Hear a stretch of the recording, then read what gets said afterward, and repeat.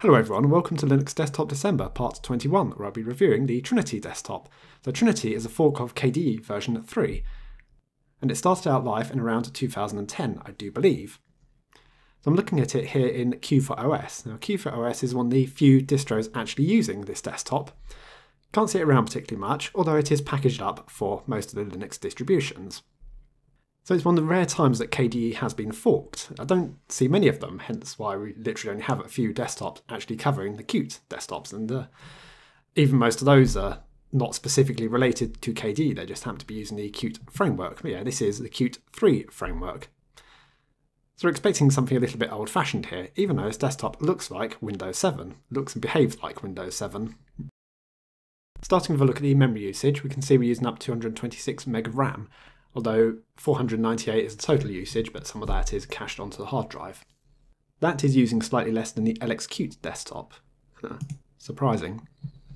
So the default styling of the application launcher is the Windows 7 style. That's uh, distro specific really with, with what uh, Q4OS have chosen. You can change to a different style here using this welcome screen. So I've got the KDE Classic kickoff menu. Yeah, that's a bit more of a style that I'm used to. Although I prefer the dash really, but uh, that's not an option here. So I've got one other option here, the classic menu. Change to that. Yeah, okay. So a bit of variety there. Let's go back to the kickoff menu. And I can even change the menu structure there as well, but that's a distro specific feature.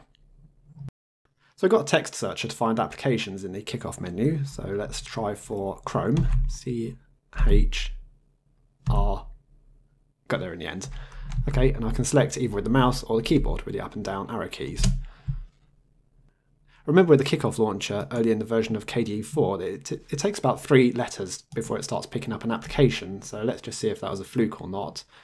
And I'm going to try for the Konqueror web browser. So KO. I know we've got console, so okay, it's, it's, slightly more responsive. So we can start getting things within two key presses, but uh, you've not picked up the one I'm after. K O N Q Konqueror.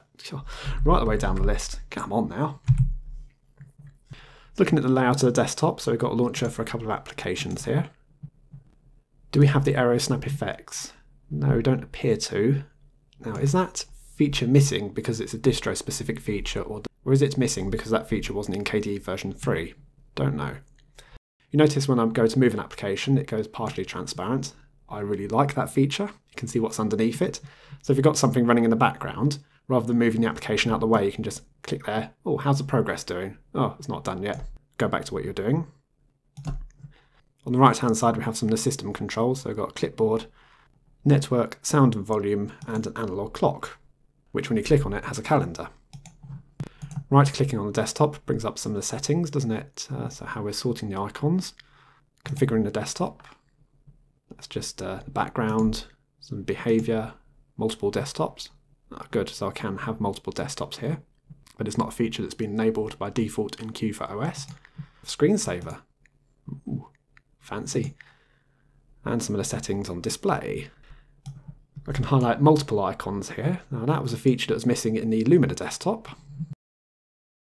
Let's open up the File Manager, which is the Konqueror web browser as a view of File Manager. I just can't get over this Windows layout here, but again, that's a distro-specific feature, not a desktop-specific feature. Go into pictures. Oh, that's opened up in the browser. Have I got any other picture viewers?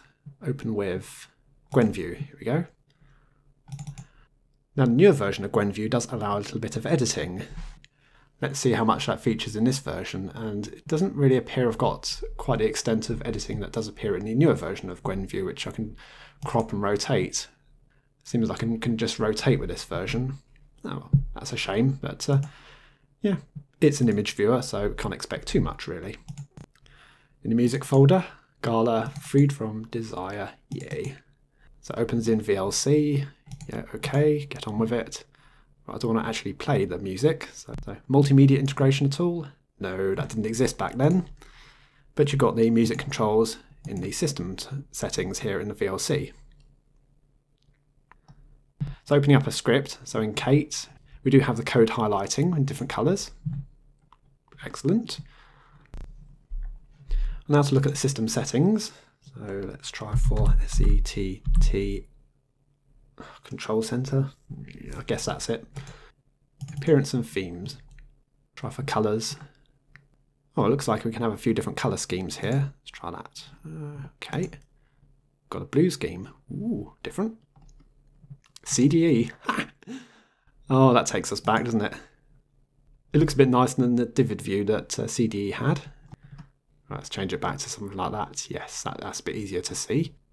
Oh, we can change the widgets. So that implies that we can have widgets on the desktop.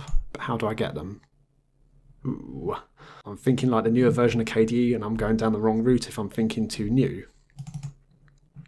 Fonts, yeah, it's fairly standard. Look switcher. Uh, you can be able to switch between a modern and smooth interface. Oh, that's, that's a distro specific feature. Anything else desktop specific here? Well, we've got this TDE components, Trinity Desktop Environment Components. File Manager. Ah, so can I have Dolphin? Oh no, that's just setting the file manager preferences for Konqueror. You can see I'm missing Dolphin, can't you?